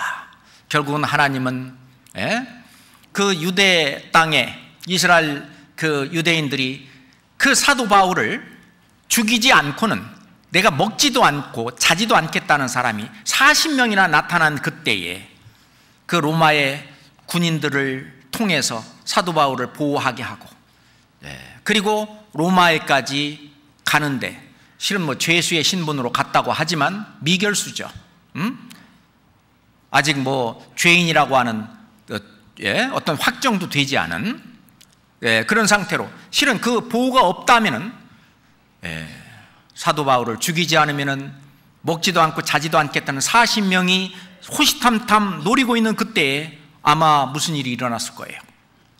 예, 근데 로마에까지 가서 이제 복음을 증거하고 전하게 하나님은 그 크신 은혜를 또 베푸셨습니다. 그잖아요? 그 사도 바울은 로마서를 쓸 때에 로마서 1장에다가 네, 그 로마에 있는 형제들에게 네, 너희 모든 사람을 인하여 내 하나님께 감사함은 너희 믿음이 온 세상에 전파됩니다. 니드가 구원받은 그 믿음, 네, 그것이 로마에서부터 시작해서 전 세계 지금 우리 교회 한국에서 시작된 이 믿음이 이 천국 복음이 지금 전 세계 60여 개 국가 이상으로 지금 퍼졌습니다. 날로 날로 늘어납니다. 우리가 알, 알지만 전 세계 지금 우리 교회에서 파송한 어떤 우리 그 선교사 가정이 지금 170여 가정들이 지금 나가 있습니다. 그를 통해서 세워진 교회의 숫자가 우리가 헤아릴 수 없이 많은 숫자. 날마다 하나님은 우리 교회를 통해서 구원받는 수를 지금도 늘려가고 계십니다. 그렇잖아요. 사도행전에 있었던 그 모든 기록되었던 그 모든 역사가 지금도 우리 교회를 통해서 지금도 진행되고 있잖아요. 예. 그것에 우리는 자부심을 가져도 됩니다. 그것에 나도 하나님께 감사하면서 내가 할 수 있는 하나님께 감사할 감 아, 하나님께 그 은혜 보답할 수 있는 길이 무언가를 또 찾고 예. 그러면서 그 길에 또 열심으로 하는 것이 예. 부지런하여 게으르지 말고 열심을 품고 주를 섬기는 그런 일이라고 봅니다. 사탄이 잔뜩 화가 났습니다. 이 복음을 전하는 목사 때문에 매일 자기의 밥이 뺏기고 있기 때문에 사단이 잔뜩 화가 났습니다.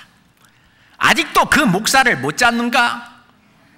하고 사단이 졸개들에게 큰 소리를 질렀습니다. 사단의 졸개들이 야단을 맞았습니다. 그래서 사단의 졸개는 평소 불평, 불만이 많은 집사를 찾아갔습니다. 그리고 이제 말하기를 목사가 너를 싫어하고 있다. 봐, 이렇지 저렇지 그렇지 않냐? 집사의 마음이 집사의 마음을 충동질했습니다. 집사에게서 감사의 마음을 빼앗아 갔습니다. 드디어 집사의 마음은 어두움으로 가득 찼습니다. 사단의 졸개는 있잖아요. 저 목사 내쫓고 싶지 너? 세 가지를 지켜 행하면 그 목사는 반드시 쫓겨난다. 첫째, 목사에게 항상 불만을 가져라. 두 번째, 쉬지 말고 목사를 헐뜯어 내리라. 세 번째, 목사가 하는 모든 일에 불평하라. 집사는 신나게 마귀의 말을 순종해서 실행에 옮겼습니다. 그래도 그 목사는 건재하게 복음을 전하지만 그 집사는 불평 분자가 되어 결국 자신의 신앙을 망치고 말았습니다. 이게 예화에 나오는 이야기. 근데 우리도 잘못 마음, 마음 먹으면 이럴 수 있을 수 있는 거예요. 우리가 하나님의 어떤 복음의 도구로 사용되어야 되지. 그죠? 사단의 도구로 내가 사용이 된다면 정말 안 될 겁니다. 이 사단은 결코요, 포기하지 않습니다. 예수님을 시험하신 이후로도요, 누가복음 4장에 보면은 잠시 동안 떠나니라. 예수님 곁도요, 사단이 이제 시험에서 아이고 도저히 안 되겠다 하고 완전히 떠난 게 아니고 잠시 동안 떠나니라. 얼마 동안 떠나니라. 그렇게 되어 있어요. 사단이 이제 우리가 구원받았으니까 이제 사단이 우리를 안 건들 거라고는 결코 생각해서는 안 됩니다. 언제든지 틈만 있으면 타고 들어옵니다. 그랬잖아요. 사단은 틈 타고 다닌다고. 그죠? 틈만 있으면 파고 들어오는 거예요. 네. 그래서 그 틈은 감사함이 사라질 때 그 틈이 생기는 거잖아요. 감사하는 마음. 그 다음에 우리가 감사해야 될 일이 나 위에 다른 성도들이 올바른 신앙생활을 하는 것에 대해서 늘 감사해야 합니다. 예, 빌립보서 1장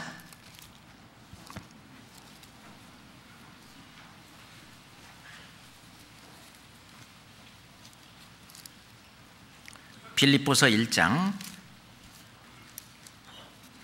3절부터 5절까지 말씀입니다.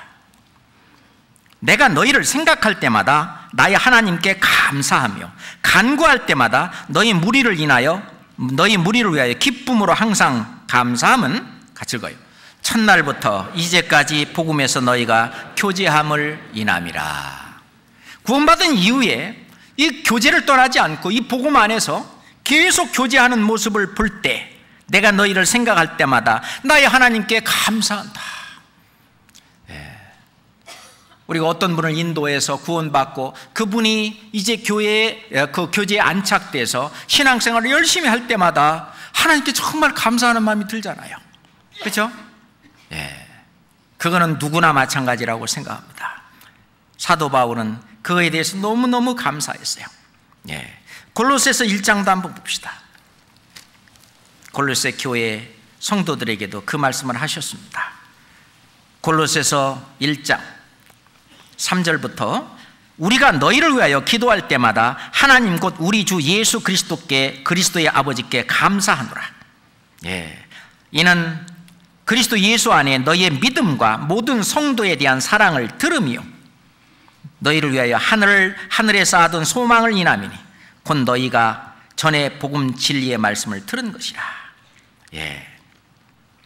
그래서 이제 이 복음이 듣고 열매까지 맺어가는 예. 그 골로새 그 형제 자매들을 예? 예, 위해서 기도할 때마다 하나님께 감사했다. 그렇습니다. 골로새 형제 자매들의 그 믿음과 그리고 사랑과 그리고 소망 그것이 가득 차 있는 그 골로새 교회를 보고 그렇게 기뻐했습니다. 사도 요한도 예? 그 사랑하는 장로 그 가이오 예, 가이오에게 편지한다고 하면서 사랑하는 자여 네 영혼이 잘됨 같이 네가 범사에 잘되고 강건하기를 간구하노라 그랬어요. 형제들이 와서 내게 있는 진리를 증거하되 네가 내가 진리 안에서 행한다 함을 예, 진리 안에서 행한다 하니 내가 심히 기뻐하노라. 이 사랑하는 장로 가이오, 예, 그 가이오는 영혼이 잘됨 같이 구원을 받았을 뿐만 아니라 이제 구원받은 이후에 이 생활도 정말 신앙생활을 잘 할 수 있도록 또는 교회의 유익을 위해서 범사에 잘 되고 강건하기를 예, 이 사도 요한은 간구한다고 했습니다. 그리고 무엇보다도 진리 안에서 행한다 하니 내가 심히 기뻐하노라. 진리 안에서 행한다. 그래서 나뿐만 아니라 다른 구원받은 다른 형제자매들이 정말 진리 가운데서 행한다 하는 것을 듣는 것보다도 실은 더 큰 즐거움이 없다. 그거에 대해서 하나님께 감사한다. 그죠? 그것도 우리가 감사해야 될 내용입니다. 예. 우리가 카톡을 통해서 아, 이번에 그렇게 애녹이던 음? 예, 그렇게 기도 부탁을 그렇게 하고 막 그냥 예, 얼마 동안 애녹이고 그러더니 끝까지 말씀 듣고 그분이 이제 구원받고 자기 입으로 예, 이제 내가 천국 갈 수 있는 아, 그 어, 말씀 내 죄를 영원히 사하시고 이제 나는 죄 없어 천국 갈 수 있게 됐다고 하는 그 큰 기쁨을 예, 갖는 그를 들을 때마다 우리는 또한 같이 기뻐하고 또 하나님께 또 함께 감사합니다. 예, 그것뿐만 아니라 우리의 삶 전체가 우리에게 예, 주시는 하나님의 허락하시는 모든 일이라고 보고 그렇기 때문에 우리에게 환난과 고난을 주신다 할지라도 그거에 대해서 또한 감사해야 됩니다. 또는 감사합니다. 환난과 고난, 어려움 그것은 결코 손해가 아닙니다. 예, 그 일 때문에 하나님을 더 가까이 하고 하나님께 더 매달리고 선교에 가면은요 선교가 너무너무 이 순조롭게 잘 진행이 되잖아요 그럴 때 우리가 감사함을 하나님의 은혜에 대한 감사함을 잊고 기도를 게을리하고 그러면은요 어떤 일이 터지는 거예요 어? 그러면은요 이제 하나님 앞에 더 매달리고 기도하고 예, 그런 일이 이제 벌어져서 하나님에 대한 어떤 신앙이 더 예? 돈독해지고 강해지는데 그것 또한 하나님이 예, 우리에게 그런 어려움과 환난과 그런 핍박과 고난을 주시는 것도 역시 감사해야 됩니다. 우리가 한나와 분린나 아시죠? 한나와 분린나 예, 한번 성경 사무엘상 1장 한번 보겠습니다.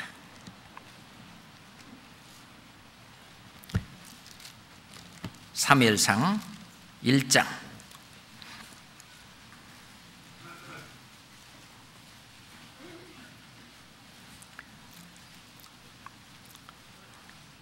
사무엘상 1장 2절부터 7절까지 사무엘상 1장 2절부터 그에게 두 아내가 있으니 하나의 이름은 한나요. 하나의 이름은 분린나라. 예, 분린나는 자식이 있고 한나는 무자하더라. 이 사람이 매년에 자기 성읍에 나, 성읍에서 나와서 실로에 올라가서 만군의 여호와께 경배하며 제사를 드렸는데 엘리의 두 아들 홈니와 비나스가 여호와의 제사장으로 거기 있었더라. 엘가나가 제사를 드리는 날에는 제물이 분깃을 그 안에 분린 나와 그 모든 자녀에게 주고 한나에게는 갑절을 주니 이는 그를 사랑함이니라. 그러나 여호와께서 그로 성태치 못하게 하시니 여호와께서 그로 성태치 못하게 하심으로 그 대적 분린나가 그를 심히 격동하여 번민케 하더라. 7절은 같이 읽겠습니다. 매년에 한나가 여호와의 집에 올라갈 때마다 남편이 그같이 함에 분린나가 그를 격동시키므로 그가 울고 먹지 아니하니 예. 이 엘가나라고 하는 사람이 있었는데 아내가 둘이 있었습니다. 하나는 한나고 다른 또 하나는 분린나인데 이 분린나는 자식이 있고 예, 한나는 자식이 없었습니다. 근데 분린나가 그냥 있는 게 아니라 자꾸 한나를 괴롭게 했습니다. 에이, 나는 자식이 있는데 너는 없지? 에? 예?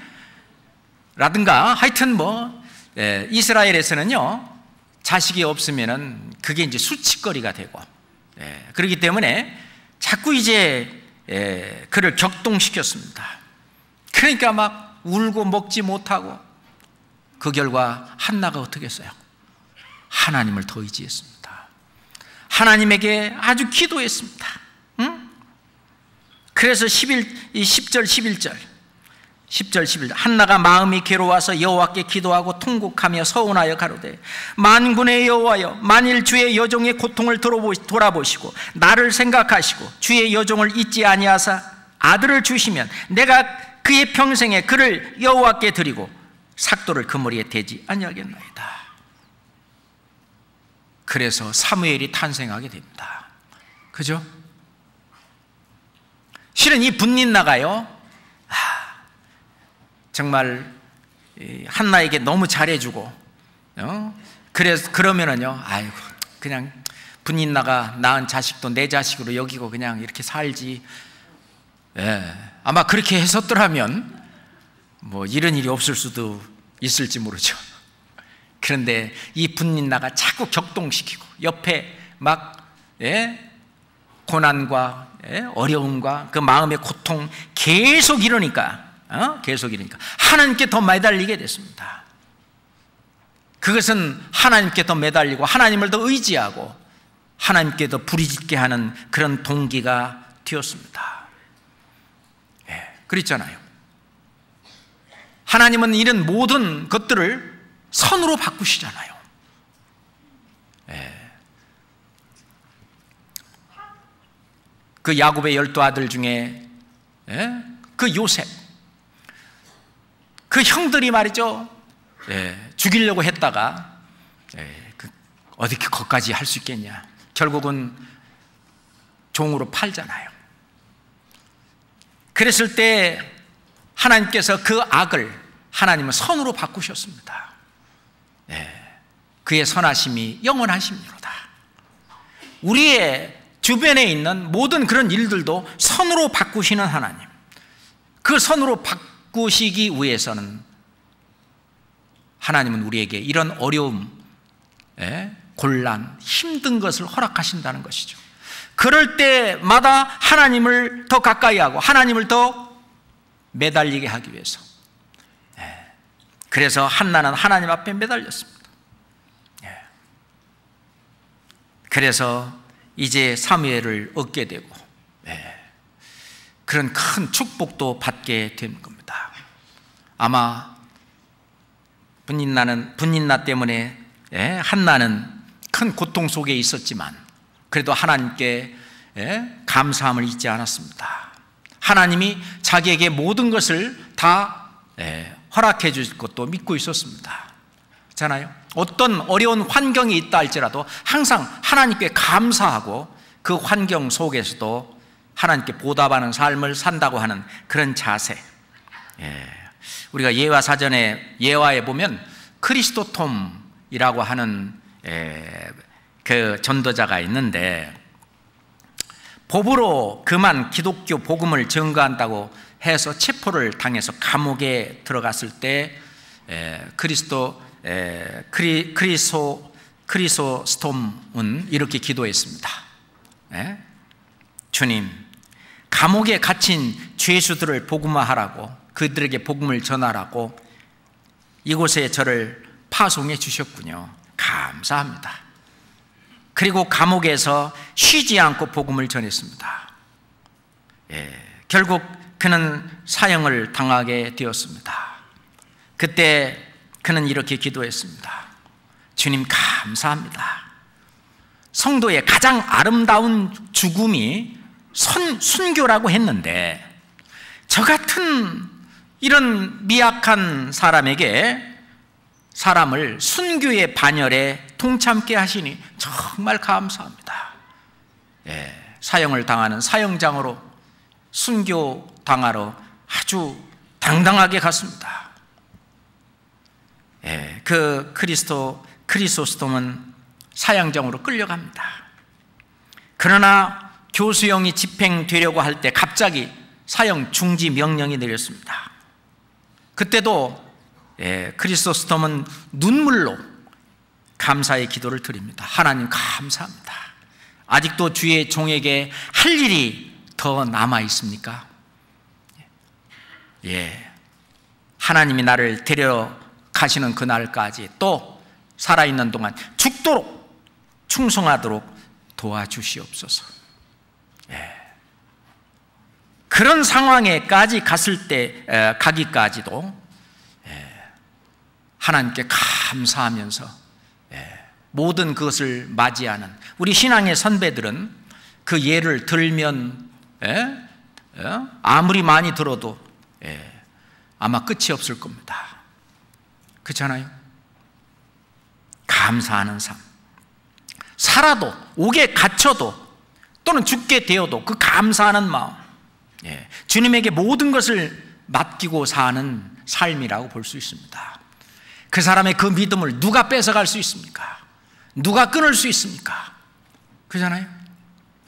사도 바울은 우리가 살아도 주를 위하여 살고 죽어도 주를 위하여 죽나니 그러므로 사나 죽으나 우리가 주의 것이로다. 예, 주의 것이니까 주님의 뜻대로 내 주여 뜻대로 뜻대로 하시옵소서. 예, 고린도후서 5장 9절에는 그런즉 너희가 거하든지 떠나든지 네. 우리가 주를 기쁘시게 하는 자 되기를 힘써노라. 그죠? 거하든지 떠하든 죽든지 살든지. 그래서 사도행 대살로니가 전서 5장에 그에 보면 5장에 보면 하나님이 뭐라고 말씀하셨느냐? 예. 범사에 감사하라. 그랬습니다. 범사에 감사하라. 한번 찾아볼까요? 대사로니까 전서 5장 18절입니다. 대사로니까 전서 5장 18절입니다.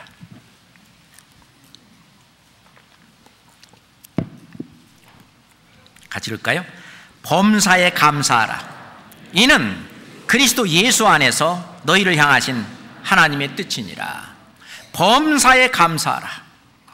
예, 감옥에 갇혀 있다 할지라도 예, 아프리카에서 얼마 전에 예, 한 전도를 하는 이 전도자가 어, 이제 복음을 전하고 말씀을 전하고 예수 그리스도를 전한다는 이유로 감옥에 갇혔습니다. 이제 몇 달 만에 풀, 지금 현재는 풀려났습니다.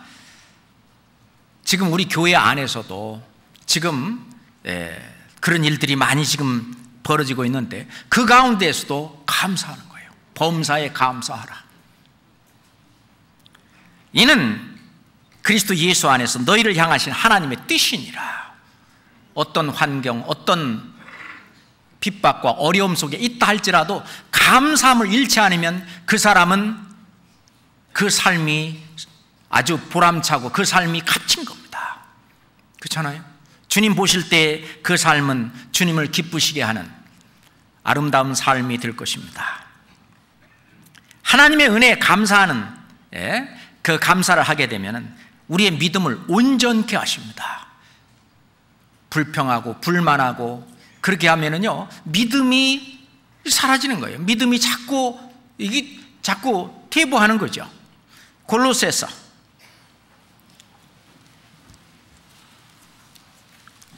대사님과 전서 바로 앞에 골로새서가 있죠. 2장 6절입니다. 골로새서 2장 6절 7절입니다. 같이 읽을까요? 그러므로 너희가 그리스도 예수를 주로 받았으니 그 안에서 행하되 그 안에 뿌리를 박으며 세움을 입어 교훈을 받은 대로 믿음에 굳게 서서 감사함을 넘치게 하라. 예. 믿음에 굳게 서서 감사함을 넘치게 하라. 이 감사함이 넘칠 때 믿음이 굳게 서는 거예요. 우리의 믿음을 온전케 해주시는 것은 하나님의 은혜에 감사함을 잊지 않고 그 감사가 새록새록 올라온다면 우리의 믿음은 굳게 섭니다. 그잖아요? 또 은혜의 은혜를 계속 더 넘치게 하고 예, 우리가 하나님께 감사를 돌리는 그 일은 하나님의 영, 하나님께 영광을 돌리는 일입니다. 예, 고린도 후서 4장 고린도 후서 4장 14절로 16절입니다. 고린도 후서 4장 14절로 16절까지 또 읽을까요? 주 예수를 다시 살리시니가 예수와 함께 우리도 다시 살리사 너희와 함께 그 앞에 서게 하실 줄 아노니 모든 것을 너희를 위하여 하는 것은 은혜가 많은 사람의 감사함으로 말미암아 더하여 넘쳐서 하나님께 영광을 돌리게 하려 함이라. 예.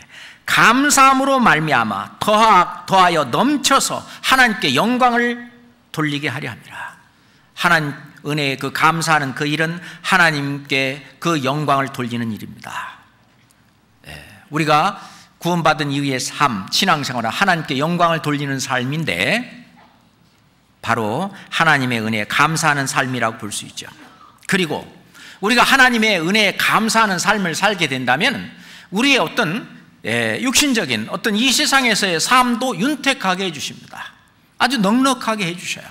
결코, 예, 결코 우리를 너무 그, 어, 이 세상에서 힘들게 사는 것에서 벗어나게 해주십니다. 고린도 후서 9장, 고린도 후서 9장 8절입니다. 고린도 후서 9장 8절 또 같이 읽까요?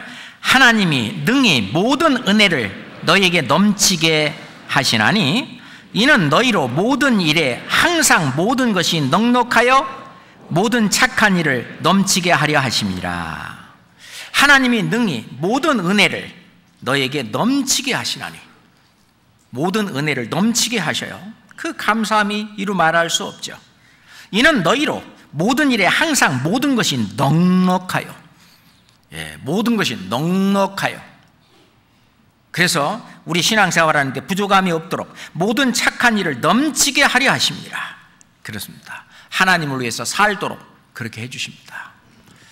예, 그래서 하나님께서 우리에게 해주신 그 크신 은혜, 예, 하나님이 나에게 해주신 그 크신 은혜를 우리가 무엇으로 보답할고, 예, 우리가 그 감사함을 늘 표현하며 사는 삶이 그로 말미암아 교회 안에서 할 일들이 많죠. 어, 그것을 즐거운 마음으로 기쁜 마음으로 즐거운 그렇게 하는 그 삶이 바로 주님께 영광 돌리는 일이고 주님을 기쁘시게 하는 일이고 늘 감사하며 사는 삶이라고 볼 수 있습니다. 기도하겠습니다.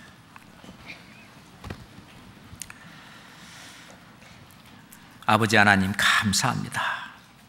우리를 구원하시고 이제 주님의 몸된 교회 안에 지체로서 저희를 양육하시고 보호하시고 인도하시며 또 우리로 천국 복음을 전하도록 하신 주님 더욱 감사합니다. 주님 오시는 그날까지 주님께서 우리에게 맡긴 맡기 주신 그 모든 일을 하는데 부족함이 없도록 늘 넉넉히 채워 주시고 우리 마음속에 그 감사하는 마음이 가득하도록 늘 저희 마음을 지켜 주시옵소서. 여름마다 진행되는 이 학예 수양에 또다시 기도합니다. 말씀 앞에 나온 사람들, 그 강팍한 마음을 멀리 하시어 그 마음 문을 열어주시어 그들이 말씀을 듣고 구원을 받을 수 있도록 역사해 주시옵소서. 우리를 사랑하시는 우리 구주 예수 그리스도 이름으로 기도드렸습니다. 아멘.